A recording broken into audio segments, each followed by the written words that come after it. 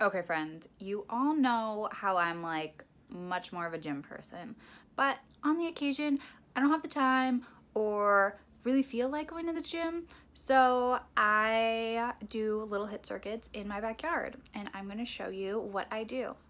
I love HIIT for cardio. I'm not much of a cardio lover, but I do love the way it makes me feel after. And HIIT is like so perfect because it's quick, efficient, it's like quick bursts, like lots of power in it, and then you just get it done. So I'm gonna show you my quick little backyard HIIT workout.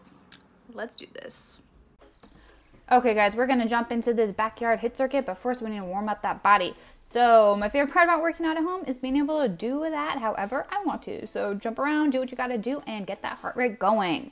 Today's HIIT circuit is going to be five exercises back to back. You can do these either for time or for reps. So I'm gonna do most of these for reps, which means I'm gonna do each exercise about 15 times, or you could try to do each exercise for about 30 seconds. And then you're gonna do all these exercises and then take a one minute break and then repeat three more times. So we'll be doing this a total of four times. So our first exercise will be modified burpees, or as I like to call them, bitch burpees, which you see here is instead of a push up down below, you're just gonna jump out and jump up. And I'm gonna do about 15 of these and then move on to the next.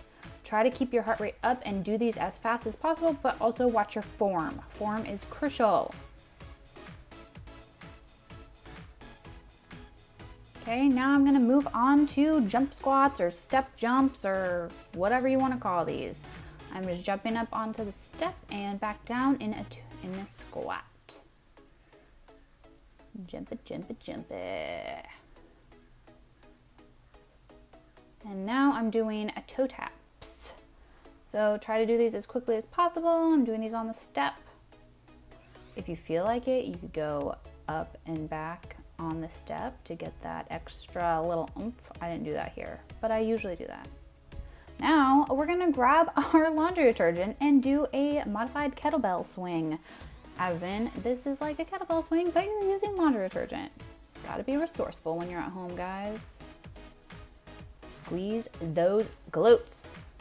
Like a pelvic thrust, but standing.